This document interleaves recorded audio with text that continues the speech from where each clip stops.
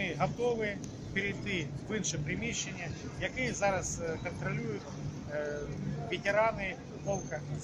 Воно знаходиться буквально в 300 метрах від е, цього готеля Казацького. Там нормальні, нормальні умови.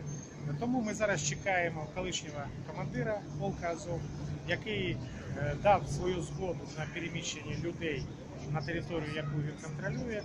Е, А він його контролює е, е, саме з революції гідності, з початку революції гідності.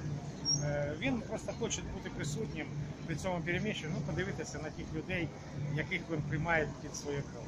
Е, Щодо готелю Козацький, він належить власності Міноборони, наскільки я розумію. Це державне підприємство Міністерства оборони. І про це написано там на, на Окей, а от щодо згоди, якої вони спочатку пішли, я маю на Так, увазі. спо- е, спо- да, спочатку дійсно була домовленість з керівництвом готелю Казацький, е, щоб вони на певний час е, знаходились на його території, але цей час закінчився, тому і виникла необхідність е, прийняття цих компромісних рішень. Будь ласка, якісь свої вимоги вони вам озвучували? Ні, ні, це не відноситься по великому рахунку для справ збройних сил.